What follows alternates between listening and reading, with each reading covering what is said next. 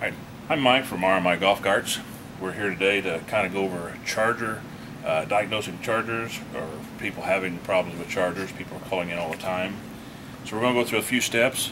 Uh, one of the things that, that you will need is a voltage meter that has a has a buzzer. When you put the two together, you're going to hear the buzzer. That way we can do continuity. One of the things, first thing you got to do is tear the uh, the top off I've already taken the screws out, so it's pretty easy. Grab the sides, give it a pop, and she'll come right off. We've got a charger plugged in. First thing we're going to do is look inside the end of the, the charger handle. There's a little clip. They wear and get pushed in, and what you need to do is pull it back out to ground it to the post. That's the first thing you look at. Then we're going to plug it in this is our charger bench. Normally it plugs into the cart. You're going to plug it in and see if it comes on. This one is, is on. We've already looked at it. But the next step you're going to do is the cord drifts down.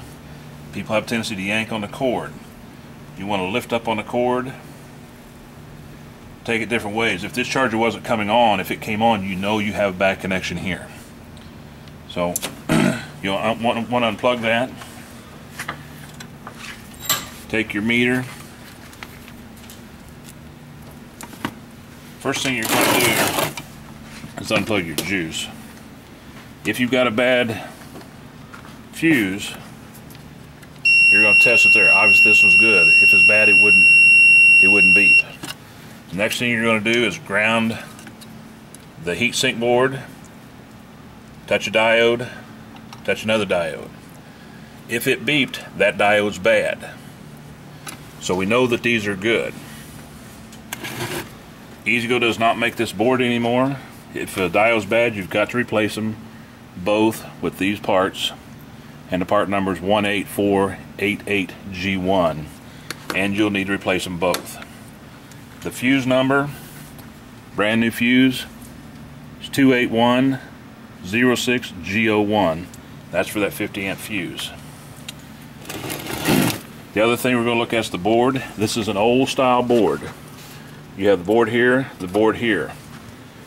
The new boards replace this board. So some of these wires you will not use.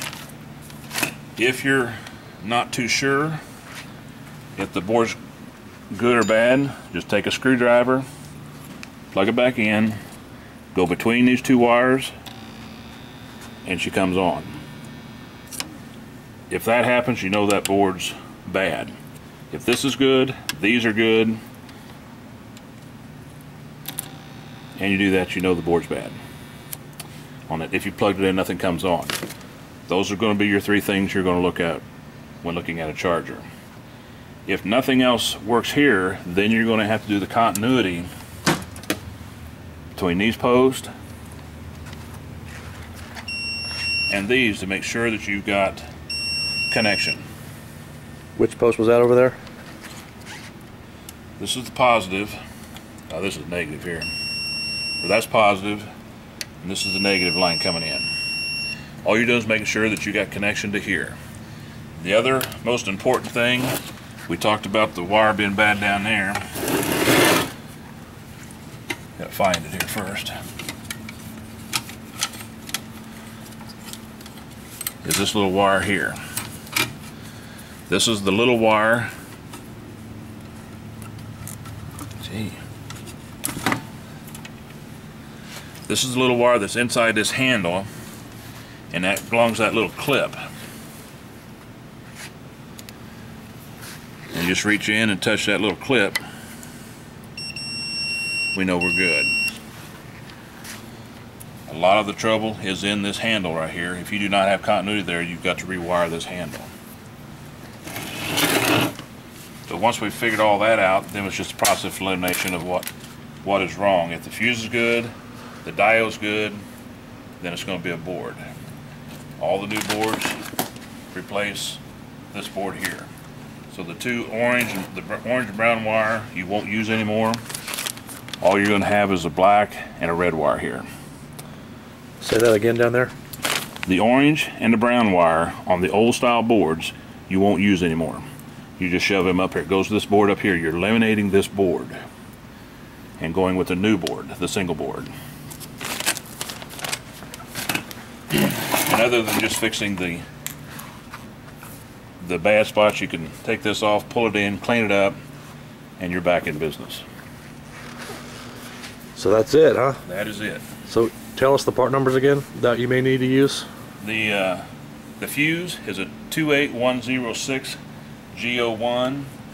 The diodes are 18488 G1. And the most common board that you're going to find is a 28667 G01. And there you have it. Thanks, Mike.